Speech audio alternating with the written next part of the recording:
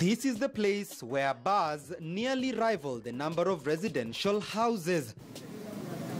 And even though residents are complaining, You can't send your child to the shops anymore. Huh? Especially if she- she's a girl. Bar owners are not. You are here to stay. Yeah, yeah, to stay. From a rich colonial past, now buried at the Nairobi City Park Cemetery within the capital's central business district, to a rather challenging present facing the nearly 400,000 residents of the estate. we have had a problem with water and drainage. Let me tell you the truth. They have lost everything. Over the next 30 minutes or so, you are about to take a journey of discovery set to reveal more about this Eastlands estate than you probably ever knew existed. Area code Donholm Estate begins now.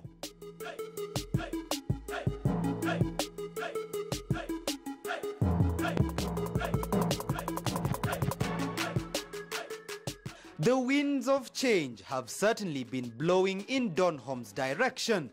If the estate was a human being, it would now be more than a hundred years old, struggling to remain relevant amidst a serious alcoholic addiction, as evidenced by the many bars within the estate. Back in the early 1900s, Donholm was not an estate but a farm a dairy farm to be more specific. The owner of the farm was this man, James Kerr Watson, who was a British architect turned colonial farmer who settled in the area where Donholm Estate now rests. Watson was a very wealthy man. It is said that his farm stretched out all the way from where the Nairobi City Stadium now is to Donholm Estate. The entire farm was estimated to be about 4,600 acres. History has it that Donholm was the first place within the entire British East Africa Protectorate to have a cattle dip. The dip was started as part of the colonialists' battle against the East Coast fever that was at the time ravaging many livestock in Kenya. Donholm was also the place where the first Ayrshire cows were bred. The cows were named after Watson's birthplace, a town known as Ayrshire in Scotland. So successful was his dairy farm that soon Watson got a nod from the colonial government to supply milk to the British offices within the city. He would build a murram road network through his farm, connecting it to the city to easily transport milk to his clients. That pathway is what we now call Jogoo Road. But it appears Watson wanted a bit of home in Kenya. That is because he nicknamed his farm Donholm, named after an estate in Glasgow town in Scotland where James Watson grew up. Over the years, the name has remained the same, but the place has changed tremendously. Rapid growth and development in Donholm was not witnessed until the early 1970s when government decided to construct three-bedroom bungalows on an eighth of an acre plot for occupation. Most of the houses were sold off through a mortgage scheme to willing buyers. One of the buyers is a man I'm told is nearly as old as the estate.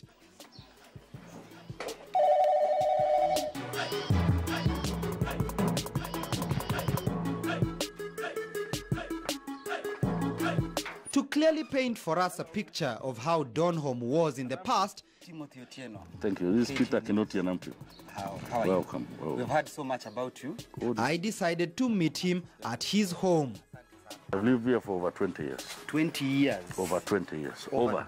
Over 20. That tells you more than 20. Wow, Welcome, thank you. Mr. Otieno. Thank you, thank you so much. Come on in. Asante sana, Ah, asante sana. this is my humble abode. This is where I live. Ah, Very good. for over 20 years. I've lived here for over 20 years with my family. Mhm. They have grown and gone. So eventually I'm alone. Okay.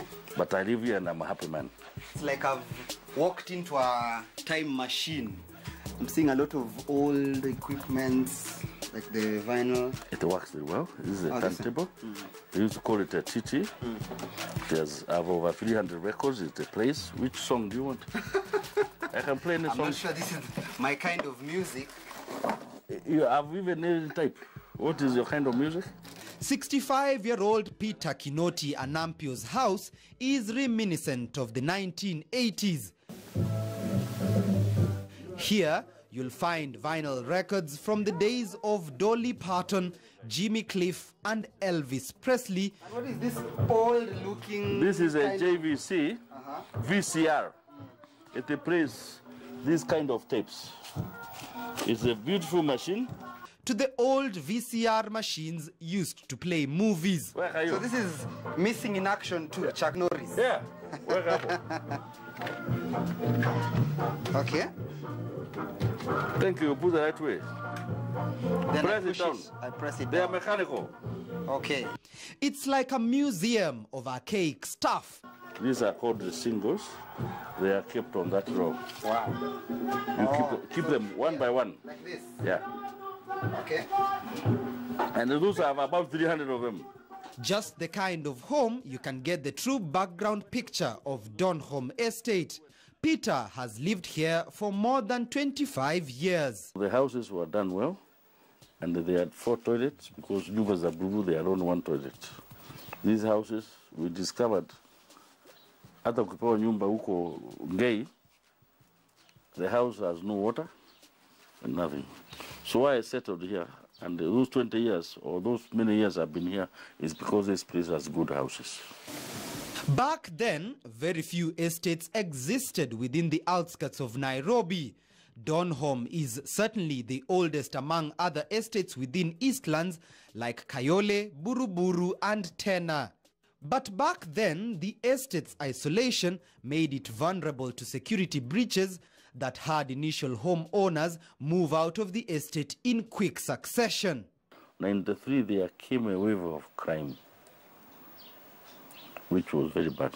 I personally was waylaid here In this house. in my children and I had carpets. I found my children laid here with four people with guns, and they wanted money, and they were very nice. And I had these pictures. I happened to be a very practicing Catholic man. They wanted money, wakatufunga hapa. There was crime rate. The crime rate was high.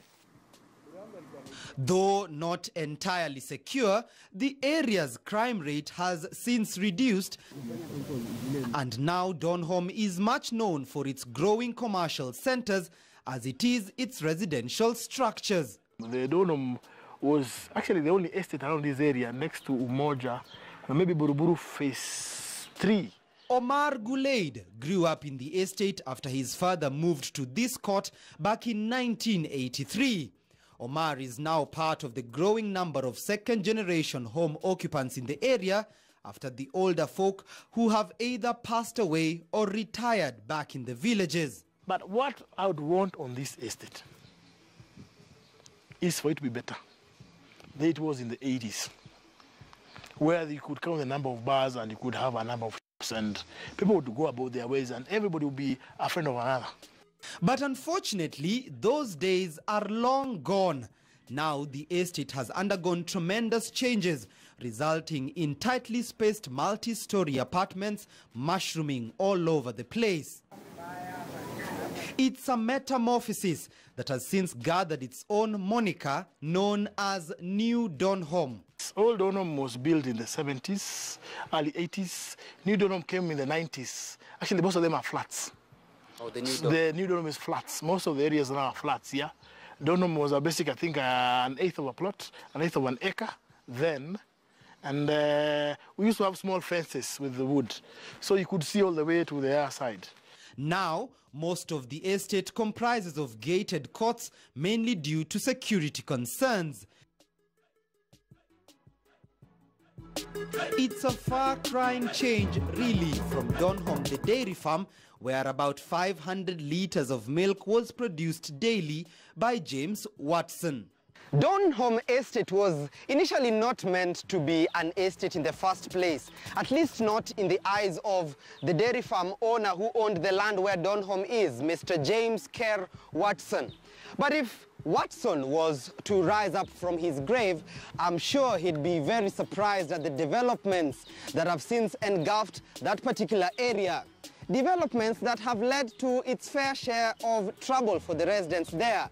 On the second part of Area Code, we shall be highlighting some of the challenges facing the residents of Donholm and possibly come up with both short-term and long-term solutions to those challenges.